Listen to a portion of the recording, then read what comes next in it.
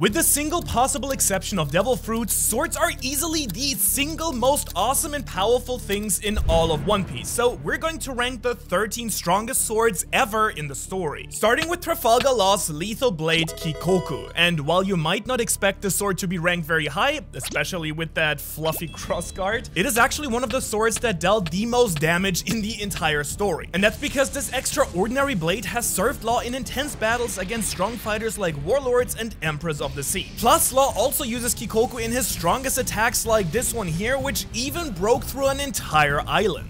And we also know that this sword is cursed, which means that it was made by an incredibly skilled craftsman and that it is nearly impossible for any weak swordsman to use it because they cannot control the will of the blade. But Law's surgical blade of death is certainly not the only cursed blade that we will be seeing in this ranking. And so moving on from the surgeon's blade, let's discuss a sword owned by someone who literally has died. Because at number 12, we have this skeleton's cane sword. And Brook has actually named this dapper blade Soul Solid, mostly because he is able to combine his icy cold soul powers to make this sword a devastating weapon in combat. And just like the previous sword, Soul Solid has clashed with emperors like Big Mom, and it has never let Brook down in over 50 years of graceful swordsmanship. Also, one more very important thing to mention about Soul Solid is that it has actually a personality of its own. Now, this is common with many of the strongest swords, and the author has even drawn Brook's sword as a wrinkly old man. But this sword is not even close to the insanely powerful and famous blades later on in this video. However, first, next in ranking is one of the largest swords ever used in the entire story. No, not this one, or even this one. And I wish someone actually used this sword. But no, for now we have this enormous blade right here, because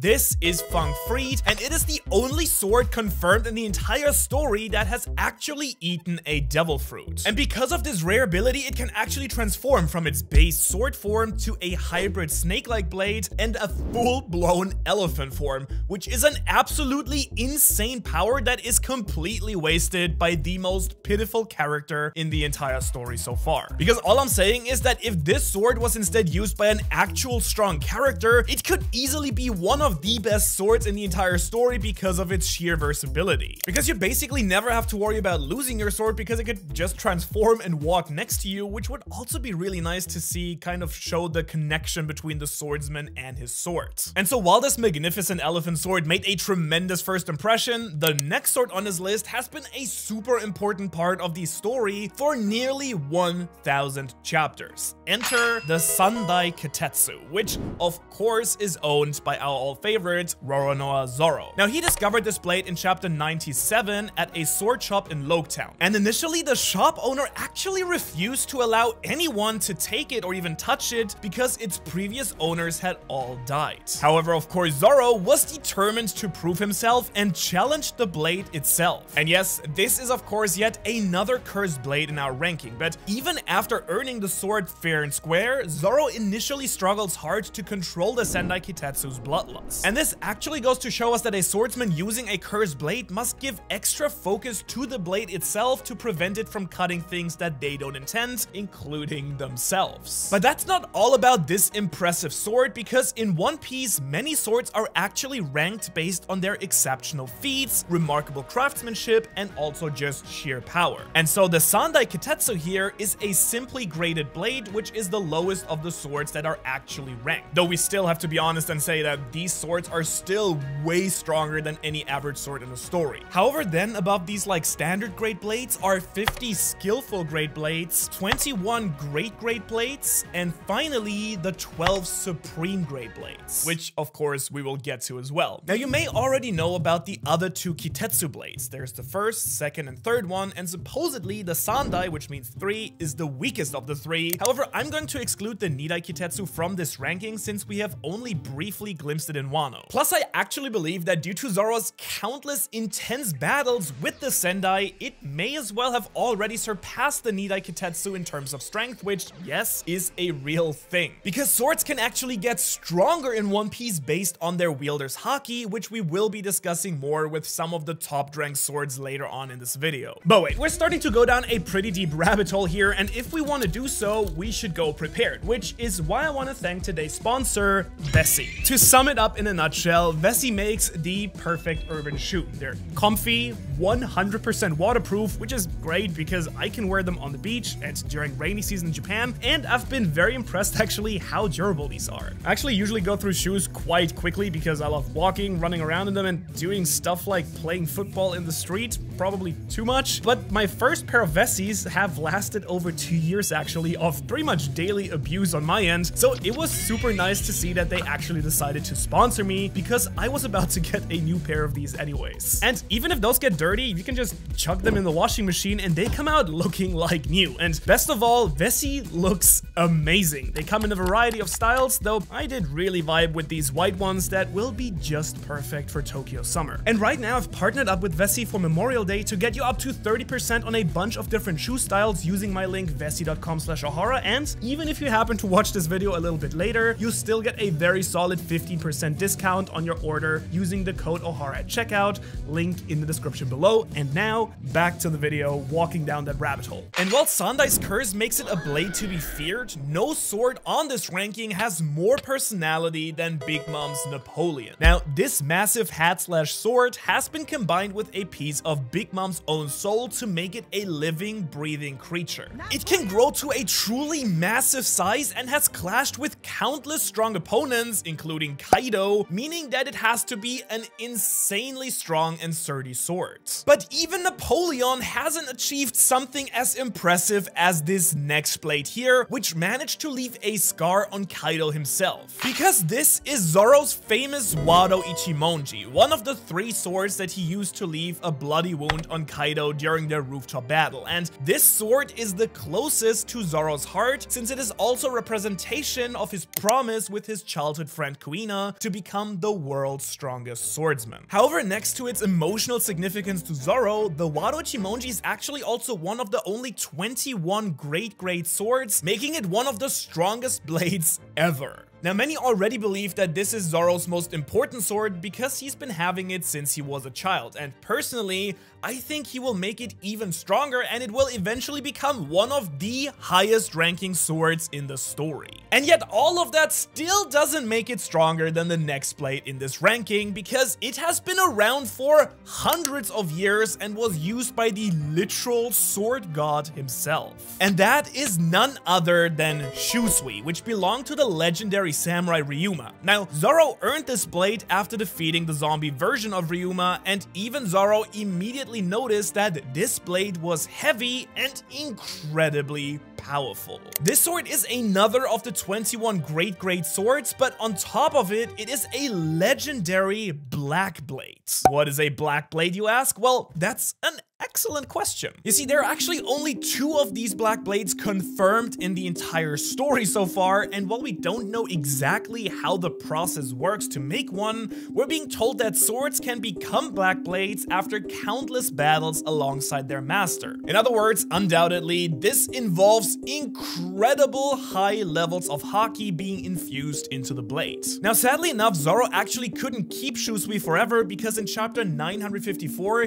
he was begged to return it to Wano country because it is considered a national treasure. But Zoro of course wouldn't give it up for free and only agreed to this in exchange for another even stronger blade that we'll of course be discussing a little bit later in this ranking. And now just barely not making the cut of the top 5, we have the infamous cursed sword, the Shodai Kitetsu. Now, this sword is supposed to be the strongest of the Kitetsu lines and is the very first blade in this video which owns the Supreme Great Sword rank. And while we've never officially seen this blade in the story so far, a common theory is that it is actually being owned by this guy right here because it has an incredibly similar hilt wrapping, and crossguard to the other two Kitetsu blades. And so clearly, just based on reputation, its ranking, and its likely owner, this is going to be an extremely powerful sword that I cannot wait to actually see in action, which means that you should definitely, absolutely, undoubtedly subscribe to the channel so you don't miss future videos discussing secrets of the One Piece world, like when this sword is finally revealed. Which now already brings us into the top 5, where we have a blade that you may confuse for another famous character, and that is Ace, because this is Ace, but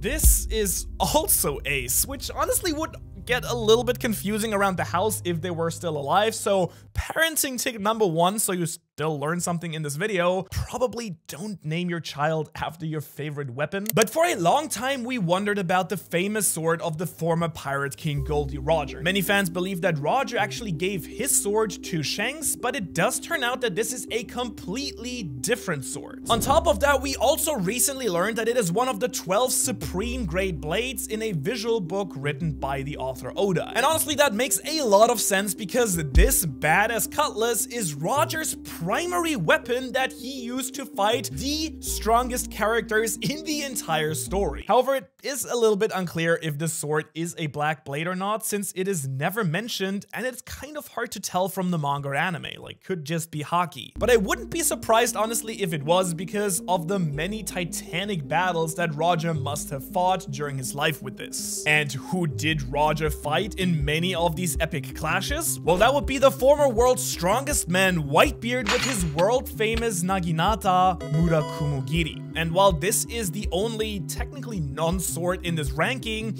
it is undeniably one of the strongest blades ever forged. Of course, this is also a supreme grade blade, just like his rival sword, and Whitebeard masterfully used Murakumogiri in combination with his Tremor Fruit to produce attacks capable of destroying entire islands. But with this, we're moving from the strongest blades of the previous generation into the top three, which are all still being used in the story today, and how do you think this top three will turn out in the end? Well, we're gonna kick it off with Griffin, the faithful blade of the one-armed swordsman Shanks. And even today, there's a lot of mystery surrounding this sword as there is around this character, but there is some surprising information that was recently revealed about it. Like, did you know that Shanks can actually coat this sword with a fiery aura? I'm not sure if that means haki or some other elemental powers, but cannot wait to see that. And you also may not have realized that Shanks did not actually start the story with this sword. Because in chapter 1, Shanks actually uses a sword with this handguard, which is quite distinctly different from Griffin. Now, this could mean that Oda just didn't have the final design in mind during chapter 1,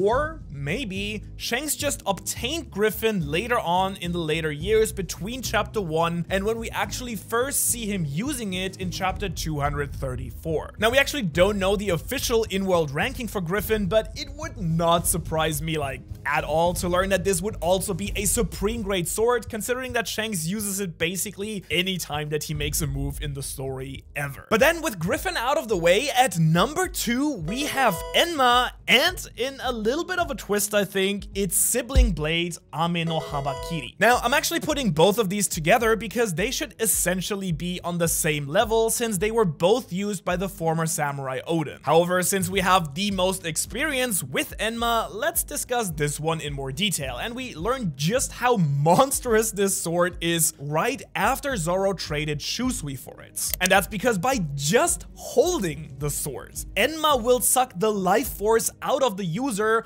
which can literally kill you if you aren't even strong enough to use it. Which forces Zoro to use all of his haki so that he can fully control the blade and use it it to its full potential. Heck, it basically forced Zoro to learn advanced Conqueror's Haki during his final battle against Kaido's right-hand man King. Plus, Zoro used Enma and his other two swords as well to block one of the strongest attacks we've seen in the entire series. And while it is currently still ranked as a great great sword, which is so stupid to say, we're told that if Zoro is able to turn Enma into a black blade, then it would probably be considered one of the supreme great swords, which the same could probably be said of Ame no Unfortunately, that sword is not being used by someone as strong as Zoro at the time, so it might just not be relevant in the story in the future. So now, let's reveal the single strongest blade in the entire story, and yes, no surprises here, it is of course the Black Blade of the strongest swordsman in the world,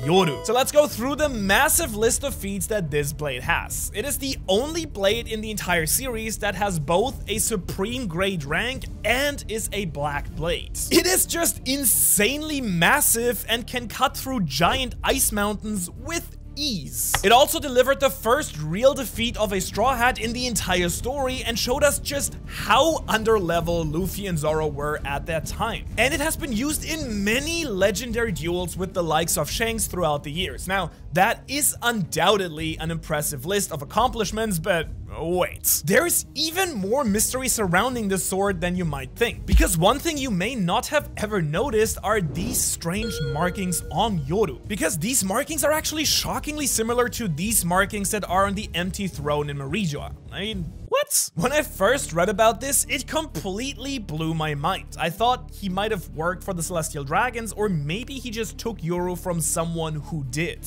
But whatever the true answer is, there's obviously many more secrets this legendary sword might hold about the One Piece world, but as we get closer to the end of the story, many of secrets like this are being revealed, and one of the most important secrets is the truth about devil fruits. So if you want to find out which of the most overpowered devil fruits almost broke One Piece, you can watch that video right here. Thanks for watching and I'll see you in the next one.